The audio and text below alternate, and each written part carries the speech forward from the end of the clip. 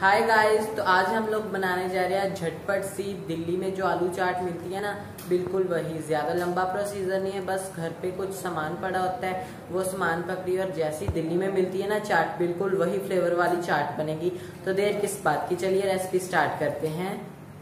Hi guys मैं हूँ आर्यन, और मेरे YouTube चैनल पे मेरे प्यारे प्यारे व्यूवर्स का वेलकम तो चलिए, आज की मज़ेदार रेसिपी बनाना स्टार्ट करते हैं। रेसिपी स्टार्ट करने से पहले, अगर आप लोग मेरे चैनल पे नए हैं तो चैनल को सब्सक्राइब कीजिएगा वीडियो को लाइक कीजिएगा, और अपने फ्रेंड्स के साथ मेरी वीडियो को शेयर करना मत भूलिएगा। तो चलिए मेरे साथ मेरे किचन में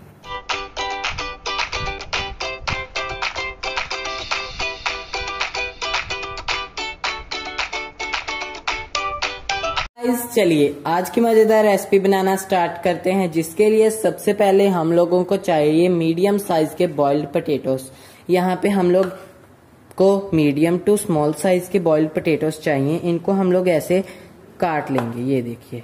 इनको हम सिर्फ़ चार पोर्शंस में काटेंगे, ये देखिए। बस इतना इतना, ये ऐसे ऐसे ही हम सभी पटेटोस को काट लेते हैं, ये देखिए।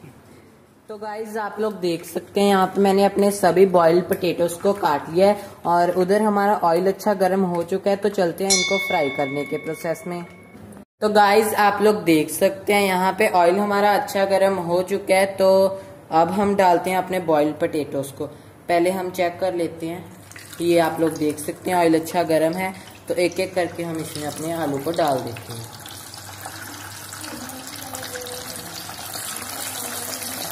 तो गाइस चलिए हम लोग अपने आलू को जल्दी जल्दी निकाल लेते हैं। आप लोग देख सकते हैं, ये अच्छे फ्राई हो चुके हैं।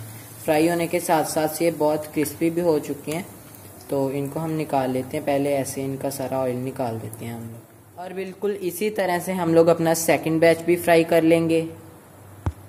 गाइस आप लोग देख सकते हैं, चाट के लिए यहाँ पे हमारे बॉइल्ड और फ्राइड आलू बिल्कुल रेडी हैं। और अब हम इनमें डालते हैं कुछ मसाले, जैसे कि हाफ़ टी स्पून जीरा पाउडर साथ ही में हम लोग इसमें डाल देते हैं half teaspoon red chilli powder red chilli powder के बाद हम लोग इसमें डालेंगे हाफ़ टी स्पून गरम मसाला गरम मसाला के साथ ही में इसमें हम लोग डाल देते हैं हाफ़ टी स्पून सॉल्ट तो गाइस जल्दी जल्दी से हम पहले अपने मसालों को अपने आलू में अच्छे से मिला लेते हैं। ये देखिए। और मसालों के बाद इसमें अब मैं डाल रहा हूँ। यहाँ पे है मेरे पास फोर टीस्पून अनार के दाने। अगर आप लोग पास हैं तो आप लोग डालिए। अगर आपके पास नहीं है तो स्किप कीजिए। साथ ही में मैं यहाँ पे डाल देता हूँ थ्री टीस्पून टमेटो यानी कि टमाटर। यहाँ पे मैं डाल रहा हूँ थ्री टीस्पून अनियन यानी प्याज। अगर आप लोग चाहें तो अकेला प्याज डाल के भी इस चाट को बना सकते हैं। साथ ही में मैं यहाँ पे डाल देता हूँ वन टीस्पून ग्रीन चिली। सबसे पहले हम लोग इन सब चीज़ों को अच्छे से मिला लेते हैं। ये देखिए, बिल्कुल ऐसे। अगर आपके पास बॉइल्ड आलू पड़े हैं आपकी फ्रिज में तो तो ये चाट सिर्फ़ पाँच मिनट में बनकर रेडी हो जाएगी। अब हम लोग इसमें डाल देते हैं थ्री टीस्पून इमली का पल्प।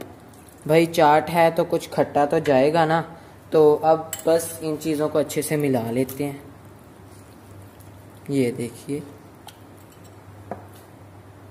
तो गाइस ये देखिए, यहाँ पे हमारी दिल्ली की मशहूर आलू चाट बनकर बिल्कुल रेडी है। आप लोग देख सकते हैं, लग रही है ना, एकदम टेम्पटिंग तो आज की रेसिपी बनकर बिल्कुल तैयार है, मिलते हैं फिर किसी दिन किसी और नई तड़कती फड़कती डिश के साथ। तब तक के लिए bye take care good bye